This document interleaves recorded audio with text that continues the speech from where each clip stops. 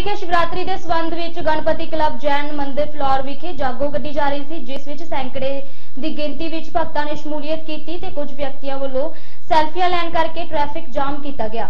Ganpati club ਦੇ ਪ੍ਰਧਾਨ ਮਹੇਸ਼ ਕੁਮਾਰ ਵੱਲੋਂ ਉਹਨਾਂ ਵਿਅਕਤੀਆਂ ਨੂੰ ਜਾਮ ਟ੍ਰੈਫਿਕ ਨੂੰ ਚਲਾਉਣ ਦੇ ਲਈ ਇੱਕ ਪਾਸੇ ਕੀਤਾ ਗਿਆ। ਬਸ ਇੰਨੀ ਹੀ ਗੱਲ ਨੂੰ ਲੈ ਕੇ ਵਿਅਕਤੀਆਂ ਨੇ ਕੁਝ ਟਾਈਮ ਬਾਅਦ ਮੰਦਿਰ ਦੇ ਪ੍ਰਧਾਨ ਤੇ ਹਮਲਾ ਕਰ ਦਿੱਤਾ, ਜਿਸ ਵਿੱਚ ਉਹ ਬੁਰੀ ਤਰ੍ਹਾਂ ਨਾਲ ਜ਼ਖਮੀ ਹੋ ਗਏ, ਜਿਨ੍ਹਾਂ ਨੂੰ ਮੌਕੇ ਤੇ ਫਿਲੌਰ ਦੇ ਹਸਪਤਾਲ ਵਿੱਚ ਭਰਤੀ ਕਰਵਾਇਆ ਗਿਆ। ਅਸੀਂ 10 11 ਸਾਲ ਤੋਂ ਜਾਗੋ ਕੱਢ ਰਹੇ ਹਾਂ ਭੋਲੇਨਾਥ ਜੀ ਦੀ ਸ਼ਿਵਰਾਤਰੀ ਦੇ ਸੰਬੰਧ ਵਿੱਚ।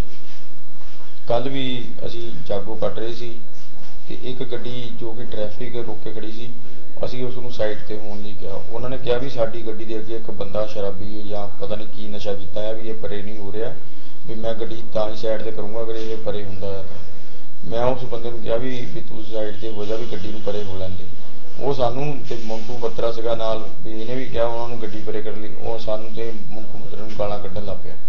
ਵੀ ਮੈਂ ਇੱਥੋਂ ਨਹੀਂ ਪਰੇ ਹੋਣਾ, ਜੋ ਹੋਣਾ ਕਰ ਲਓ। ਅਸੀਂ ਉਹਨੂੰ ਧੱਕੇ ਮਾਰ ਕੇ ਪਰੇ ਕੀਤਾ ਵੀ ਹਾਂ ਮੇਰੀ ਗੱਡੀ ਪਰੇ ਕਰਾਈ।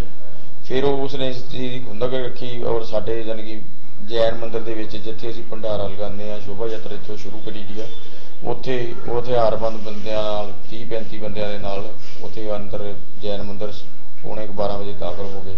ਉਹਨੇ ਮੇਰੇ ਤੇ ਹਮਲਾ ਕੀਤਾ ਆਪਾਂ ਬਿਆਨ ਲੈਣ ਆਏ ਆ ਇਸ ਟਾਈਮ ਟੋਨੀ ਨਾਂ ਦੇ ਜਿਹੜੇ ਸੱਟ ਲੱਗੀ ਆ ਰਾਤ, ਜੋ ਬਿਆਨ ਦੇਣਗੇ, ਉਹਦੇ ਮੁਤਾਬਕ ਕਾਰਵਾਈ ਕੀਤੀ ਜਾਵੇ। ਸ਼ਰਾਰਤੀ ਅਨਸਰਾਂ ਨੇ ਰਾਤੀ ਇਹ ਕਾਰਵਾਈ ਕੀਤੀ ਆ। ਜੇ ਇਹਨਾਂ ਨਾਲ ਲਿਖਾਣੇ ਉਹਨਾਂ ਖਿਲਾਫ ਸਖਤ ਤੋਂ ਸਖਤ ਕਾਰਵਾਈ ਕੀਤੀ ਆ